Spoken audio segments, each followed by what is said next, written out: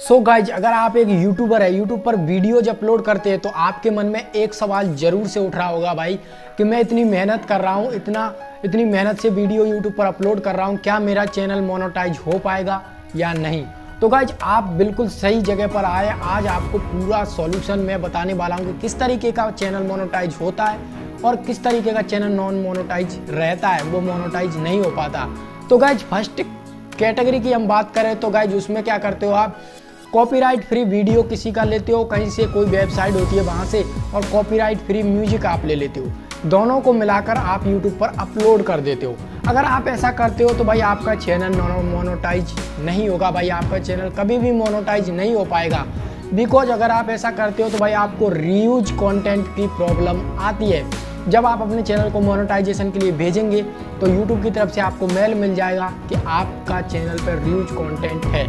तो आपको इस, इससे बचने के लिए क्या करना है भाई आपको आपको जो आप वीडियो लिए हो copyright free music copyright free दोनों को जोड़कर आप अपना वॉइस ओवर कीजिए। अपनी, उस वीडियो में अपना वॉइस दीजिए तो आपका चैनल मोनेटाइज हो जाएगा, कोई भी दिक्कत नहीं होगी। काफ़ी सारे ऐसे चैनल्स हैं जो भाई अपनी वॉइस ओवर देकर चैनल मोनेटाइज करके लाखों में रुपए अर्न कर रहे हैं। सो so, भाई सेकंड कैटेगरी की बात करते हैं तो आप क्या करते हो भाई? किसी मूवी के बारे में टॉप टेन मूवी के बारे में बताते हो। तो आप उनमें क्या करते हो? उन मूवी को बताते समय भाई, आप छोटी छोटी क्लिप्स उस वीडियो में यूज़ करते हो। जिससे कि क्या है भाई, अगर आप जरा सी भी लंबी क्लिप उसमें यूज़ कर देते हो तो भाई, आपको कॉपीराइट क्लेम मिल सकता है। और कॉपीराइट क्लेम मिलेगा तो आपको स्ट्राइक भी भाई, वो कंपनी दे सकती है जिसने वो फ़िल्म लॉन्च किया है। वो फ़िल्म जिसकी है भाई, आप उसको अपलोड करके पैसा कमा रहे हो तो उसको हक है कि भाई वो आपको स्ट्राइक दे दे। और स्ट्राइक आपको चैनल पर पड़ती है भाई तीन तो आपका चैनल डिसेबल हो जाता है डिलीट कर दिया जाता है यूट्यूब की तरफ़ से। तो आपको ये गलती नहीं करनी है। आपको वॉइस ओवर तो देनी है उस वीडियो में फ़िल्म के क्लिप्स के साथ में, और आपको क्लिप्स पाँच से या दस सेकेंड के बीच में ही रखनी है, ताकि आपको क्लेम भी ना मिले और भाई स्ट्राइक भी ना मिले। थर्ड कैटेगरी की बात करें भाई, जो तीसरी कैटेगरी है, उसमें आप क्या करते हो भाई?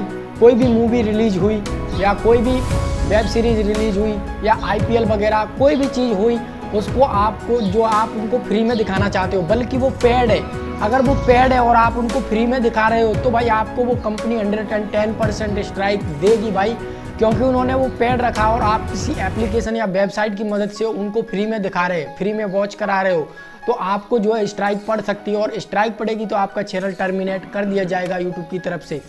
आपका किस कैटेगरी का चैनल है? नीचे कमेंट बॉक्स में कमेंट कर दो और आप किस राज्य से हो, वो भी कमेंट कर देना भाई, ताकि मुझे पता चल सके कि भाई आप कहाँ से वीडियो वॉच कर रहे हो। और जो कैटेगरी आपके चैनल की है, आप किस तरीके का कंटेंट डाल रहे हो, मुझे नीचे कमेंट करके लिखिए भाई, मैं आपका रिप्लाई दूँगा और आपको बताऊँगा। जिन भाई का नहीं बता पाया हूँ, उनको इंस्टाग्राम पर मैसेज कर देना भाई। इंस्टाग्राम की आईडी जो है, आपको साइड में दिख रही है। आप यहाँ पर मैसेज कर सकते हो। तीसरी कैटेगरी में भाई आप क्या करते हो, किसी भी वीडियो को उठाते हो और उसका डब करना चालू कर देते हो। यानी फ़िल्म वीडियो को आप डबिंग करते हो, यानी डबिंग चैनल जिसको हम आसान भाषा में डबिंग चैनल कहते हैं। तो भाई डबिंग चैनल अगर आपका है और आप उसमें भी वीडियो क्लिप अधिक यूज़ करोगे भाई, और आप उसको अपलोड करते हो यूट्यूब पर तो आपको स्ट्राइक पड़ सकती है। तो आपको इस तरीके का चैनल भी क्रिएट नहीं करना है। अगर आप इस तरीके का चैनल क्रिएट करते हो तो भाई, आपको स्ट्राइक पड़ सकती है।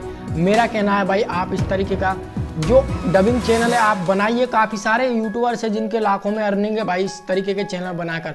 लेकिन वो दिमाग से काम करते हैं भाई।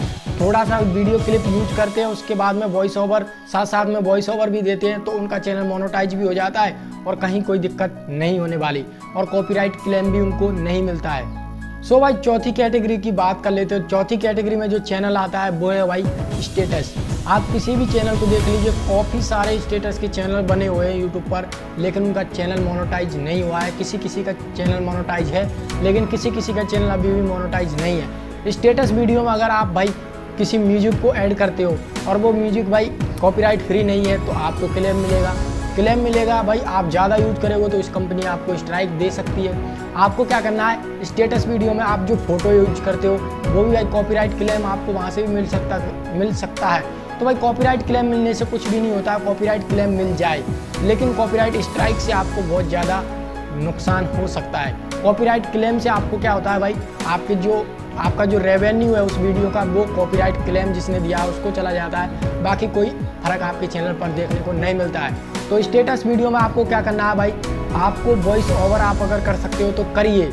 और आप जितना चाहे उतना भाई copyright video plus copyright music का यूज़ कीजिए स्टेटस वीडियो में। तो आपका चैनल कहीं भी दिक्कत नहीं देगा, आपका चैनल ग्रो कर जाएगा। तो भाई इतने सारे टॉपिक मैंने कवर किए थे। अगर इसमें से भी आपका चैनल रह रहा है तो आप कमेंट कर दीजिए। मैं आपको इंस्टाग्राम पर बता दूँगा कि आपका चैनल मोनोटाइज होगा या नहीं। तो भाई अगर आपके अभी तक बन के सब्सक्राइबर कंप्लीट नहीं हुए, ये वाला देख लीजिए भाई। और 4000 घंटे के लिए ये वाला। और भाई, चैनल को सब्सक्राइब करने के लिए भी आइकन दिखाई दे रहा होगा आपको। कर दो भाई, इतनी अच्छी अच्छी इन्फॉर्मेशन आपके लिए लाता हूँ मैं।